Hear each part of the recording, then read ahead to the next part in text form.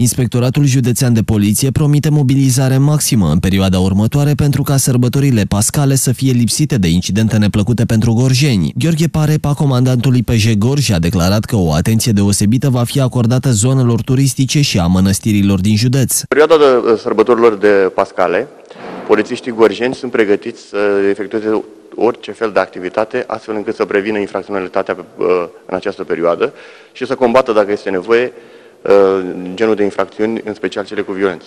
Sunt asigurate măsuri de ordine la lăcașele de cult, avem în vedere cele mai mult vizitate, sunteți o zonă turistică, Gorju este o zonă turistică cu mănăstiri importante, unde ne așteptăm să fie un aflux de credincioși mai mare decât în alte perioade ale anului. Acolo avem măsuri pentru asigurarea fluenței traficului, pentru prevenirea infracționalității cu violență, pentru orice fel de uh, incident care ar putea perturba și tulbura bunul mers al uh, sărbătorii. Șeful Inspectoratului Județean de Poliție a declarat că s-a stabilit o colaborare cu toate instituțiile abilitate pentru a asigura liniștea de sărbători.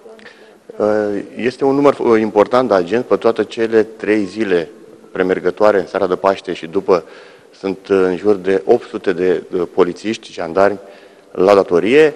Cooperăm cu structurile de jandarmi și am asigurat tot ce înseamnă management operațional pentru ca lucrurile să se desfășoare în condiții normale. Avem o cooperare și cu Inspectoratul pentru Situații de Urgență pe segmentul care interesează pe dumnealui.